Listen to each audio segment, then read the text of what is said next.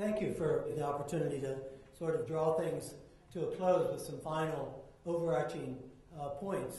One of the one of the ongoing issues around uh, capacity and niche and when to do developmental evaluation and when not um, related to the, the question about uh, incorporating this into a context where you've had a, a lot of failure and ineffectiveness um, is that that this is not a solution to uh, problems of low capacity, of managerial uh, low capacity, of corruption, of ineffectiveness. Uh, going back to the quality assurance division between quality control and quality enhancement, um, developmental evaluation depends upon having certain systems in place at a, a, minimum level of effectiveness. The quality control, basic monitoring functions, the capacity to handle data, the capacity to gather uh, data. So those where those capacities are not there, I think the issue is to is to begin uh, at an even more basic level of, of building some minimal, uh, credible, reasonable, uh, useful monitoring systems um, that are directed at basic accountability questions. And that would be another place where I'm not suggesting we rush in to developmental evaluation where those things are not already in place. This is at the quality enhancement, uh, excellence, innovation level. It's not a substitution uh, for not being able to manage some basic accountability uh, functions. Um, I worry about calling this process oriented because there's a whole history around that that that means you're not outcomes oriented. Um, the, when we talk about the basic evaluation question is what's getting developed and the implications of that, I treat developmental evaluation as very outcomes oriented.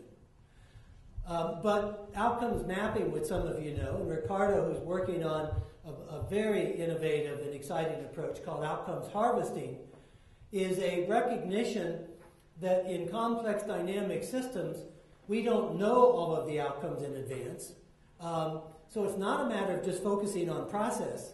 In fact, I would argue it's very outcomes driven, uh, but it's a series of outcomes that occur in stages, and that you need to know what outcomes have been produced at some moment in time to see what outcomes are going to get added to that, what the next stage is, what emerges that's unanticipated uh, along the way, and what the interactions are among those things. So I worry about it sticking it into, oh, it's process oriented. What I do say about it is that a lot of evaluation is methods driven, uh, a lot of it is accountability driven. Developmental evaluation is fundamentally relationship driven. It's about the relationship between the people who are implementing change and innovating and the evaluator who is providing them with systematic reality testing feedback to look at what their results are achieving, uh, to learn about that, and to apply it going forward around the issue of what's actually getting developed. Are problems getting solved that they care about? Are they making a difference as they adapt to changing uh, conditions? Can we connect the dots between what they're doing um, and what results are achieving. Uh,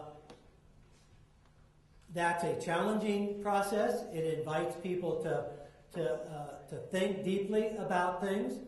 Uh, I worry that uh, in the methodologically driven nature of evaluation, we've gotten a little bit overly mechanical about the gathering and interpretation of data, so that what you've seen all day long is this is as much about thinking about the implications of operating in a complex dynamic system as it is about uh, data gathering uh, and data interpretation.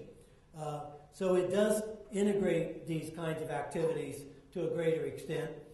And the way that I got involved in this as a final benediction was not that I set off to become a developmental evaluator, but taking you back to where I was uh, at the beginning of the morning in the Blandin Community Leadership Program I began doing this in response to clients who wanted a different kind of evaluation.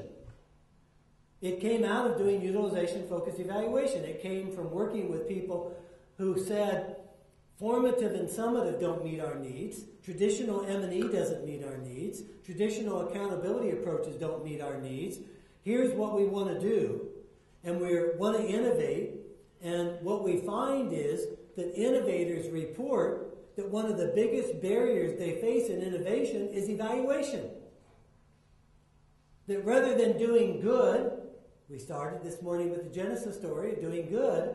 Rather than doing good, evaluation is doing harm. It interferes with adaptation. It interferes with innovation. We've got a group of people who are hungry for information, who are hungry to change what they're doing, to learn about what works and doesn't work. And they need some approaches that respect that and work with them in a way that brings about those differences. That's how I wandered into this um, and how I continue to be involved in it. Those of you who uh, find some kind of, of opening there where it may inform part of your work, I uh, certainly invite you into it. I would certainly understand a lot of you would want to avoid this or in settings where you can't do it. And whether you call yourselves early adopters or simply crazy people, um, who want to do things differently or whatever other label you attach to it. I'll be interested in hearing about your experiences, um, learning from you as you attempt to work this. And let me thank you very much for your patience and engagement today.